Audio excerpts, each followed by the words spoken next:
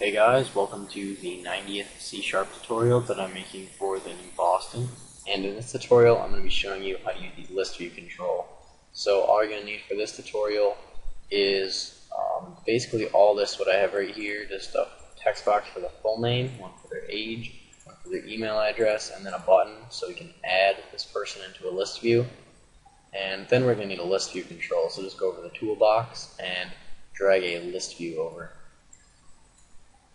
I'm just going to resize it accordingly so it fits this a lot nicer. Alright, so basically what a list view um, does is it basically allows you to sort data. What we're going to be using it for today is we're going to be making a table. So the first step in doing that is clicking this little triangle right here and then going down to edit columns. So we're going to have three columns. We're going to have um, one for the person's name. So we're just going to call the name of this or just set the text of it to full name. The next one will say age.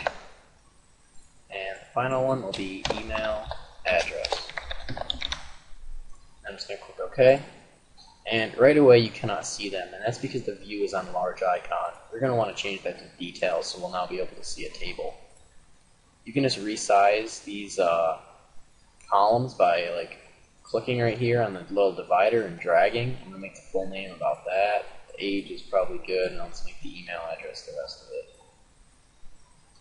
Um, first thing that you're probably going to want to do is go down here and set grid lines to true so that you'll be able to see grid lines in your list view. I just think that makes it look a lot nicer. You can also set full row select to true, and if you don't have this on, when you select an item in the list view, it will only highlight the text in the first column and not the rest of them. But if you set this to true, it will highlight across the entire row and I think that looks a lot nicer. And also you're probably going to want to select or set multi-line or multi-select to false so that you cannot select multiple items. Now we're actually going to get into adding um, items to the list view. So we're just going to go ahead and double click on this add person button right here. Alright, so the first step is creating a new list view item. So we're going to type out um, list view item. I'll call it LVI for list view item and set it equal to a new list view item. And what we're going to pass through the constructor right here is basically what we want the text to be of in this first column. And we're going to want that text to be whatever the full name that the user puts in this text box. So we'll do textbox1.text right here. Textbox1.text. Alright, and then we're going to do lvi.subitems.add. And basically, we'll do these for all of the other columns. So if we want age, that's the next column in line. So we're going to do the age. So we're going to do this text box right here, which is text box 2. So we're going to do text box 2.text.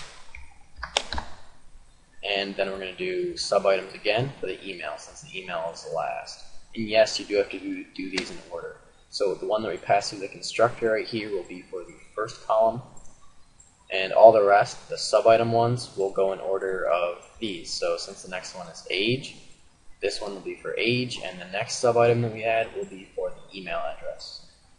So we're just going to do lvi.subitems.add. Now we're going to add the textbox3.text because um, that's where the user will input the email address.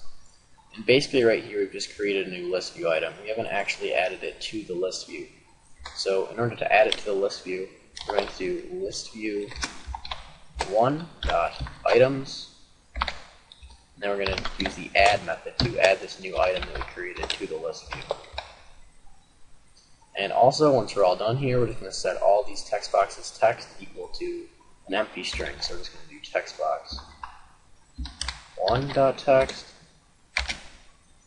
equals nothing. Textbox2.text equals nothing. And text textbox3.text equals nothing. Alright, so now when we debug here, when we type in a client's name, I'll just type in Adam, I'll just type in Smith, I guess, for the last name. The age, I'll just put my age, and the email address, I'll just put my email address. So now when we click Add Person, we should see it appear in here, and should clear all these text boxes. Yep, jump down here and it's now displayed in the table.